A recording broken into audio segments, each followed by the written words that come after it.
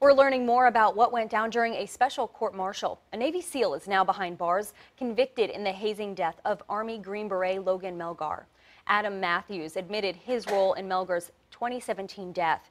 Matthews testified he restrained Melgar with duct tape while another SEAL applied a fatal chokehold.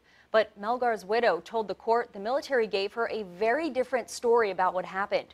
She says she didn't learn until 19 days after his death that NCIS was picking up Melgar's case and two SEALs were suspected of foul play. Three other service members are still accused in Melgar's death.